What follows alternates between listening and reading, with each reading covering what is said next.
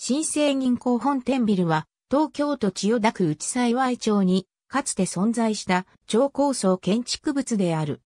日建設計の設計、竹中工務店の施行により、1993年に日本長期信用銀行本店ビルとして完成した。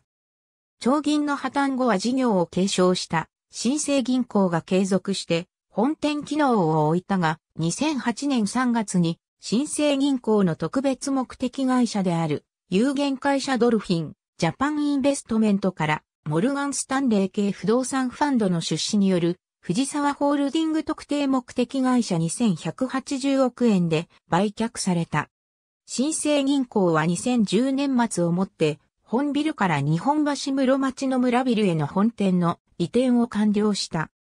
その後は空室状態が続いていたが、2012年12月、ケネディクス、東急不動産、日本政策投資銀行は3社の共同出資による特別目的会社を通じて本ビルを510億円で取得。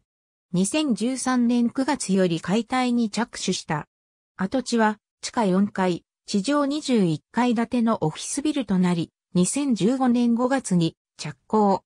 名称は日比谷パークフロントとされ、2017年5月に竣工した。凸の字を上下反転させたような上部が大きい特徴的な作りとなっている。強化ガラスに穴を開けて電子字する DPG 工法を日本で大規模に採用した初期の建物であり、ガラスを多用したエントランスホールも注目された。ありがとうございます。